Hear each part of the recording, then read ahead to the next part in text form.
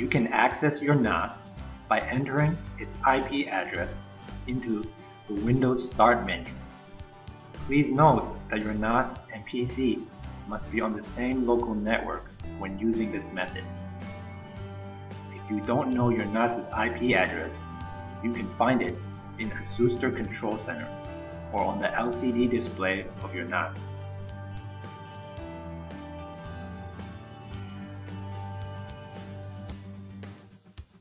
First, click on Start.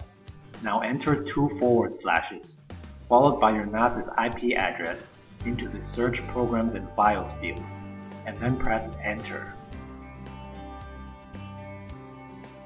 The folders from your NAS should now appear.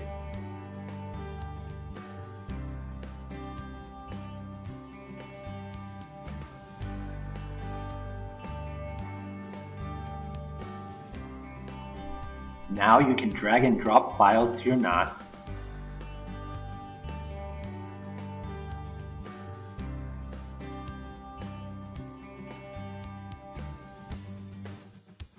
create new subfolders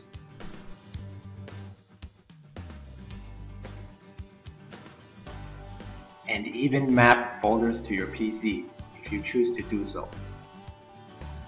To map a folder to your PC as a network drive, right-click on it and then select Map Network Drive. Specify a letter for the folder and then click on Finish once you are done. In the Computer section, the folder should now be mapped as a network drive.